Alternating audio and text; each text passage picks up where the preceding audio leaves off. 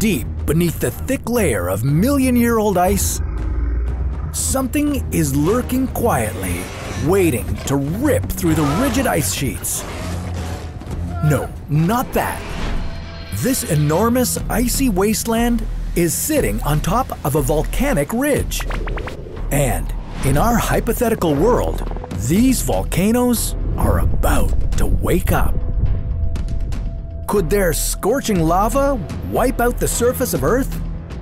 Or would the thick Antarctic ice stop the lava before it makes our planet uninhabitable? This is What If, and here's what would happen if Antarctica's dormant volcanoes woke up. Antarctica is the coldest continent on Earth, and it's quite mysterious. We didn't know it had active volcanoes buried underneath it until 2013, when scientists accidentally detected two clusters of small earthquakes. Now that we've scanned Antarctica with ice penetrating radar, we know that there are many more volcanoes hiding below the ice. 138 to be precise. But that's only the ones we know of. How many more could be hibernating there? And how much trouble would we be in if all those volcanoes suddenly decided their slumber was over? It shouldn't be too surprising that these ash breathing ruptures have been buried underneath Antarctica's ice shield this whole time. After all, volcanoes are easy to come by, even outside our home planet.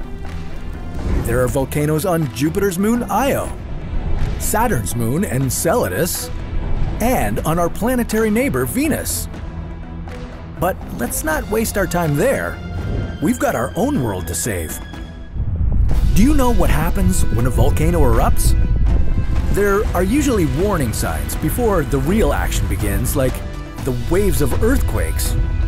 They indicate that there's molten rock moving beneath the surface.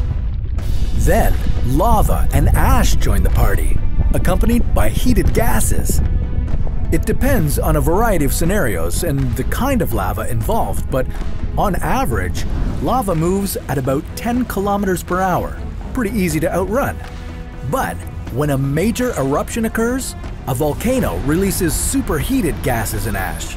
Combined, they create something called a pyroclastic cloud.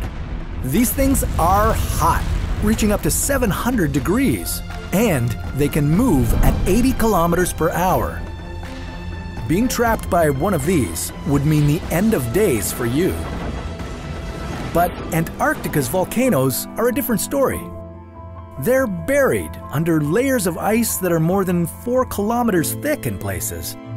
We wouldn't be dealing with volcanic gases making their way to the surface, at least as far as one eruption goes. The heat released would melt massive caverns in the ice, creating substantial amounts of meltwater. And that's when things would start getting ugly. The newly created meltwater would cause the ice above it to move more rapidly. The Antarctic ice cover would begin heading into the ocean. From there, the domino effect would kick in. The huge weight of the ice puts all that pressure on volcanoes, keeping them stable. But decrease that pressure, and a volcano gets limbered up, and magma finds a way out through an eruption. In the case of Antarctica, multiple volcanic eruptions could wake up over a hundred other volcanoes and destabilize the entire region. As the volcanoes continued to blow their tops, more meltwater would be created, causing more of the Antarctic ice to slide into the ocean. Antarctic ice would be enclosed by warmer ocean currents. On one hand, we'd get a new look at Antarctic bedrock that's been hiding under the ice this whole time. On the other hand, the ice wouldn't just disappear into thin air, it would melt. And if all of Antarctica's ice melted, it would raise the global sea level by about 60 meters. Rising sea levels could contribute to major storms moving slower and dropping more rain. Hurricanes and typhoons would wreak havoc on the Earth's surface. wildlife along coastal areas would lose their habitats, and agricultural soil would become contaminated with salt. Extensive flooding would push millions of people away from the coastline. If the eruptions happened in the span of one day, we'd be looking at thousands of deaths and storms wiping out everything floating in the oceans. But let's go back to Antarctica for a second. Now that all the ice has melted, what about the rampaging magma? The good news is it wouldn't turn the Earth into a lava world. After all, the eruptions would occur underwater. The hot magma would solidify in the cold water of the Antarctic Ocean and maybe add more real estate to Antarctica's own bedrock. But things don't end there. When volcanoes erupt on land, they spew out heated gases, including carbon monoxide, methane, carbon dioxide, and nitrogen. To go along with this, there's usually some water vapor thrown into the mix. By some estimates, volcanoes are responsible for the release of 645 million tons of carbon dioxide every year. If the Antarctic volcano eruptions turned out to be powerful enough, they would blow open huge expanses of ice, allowing the release of even more toxic greenhouse gases.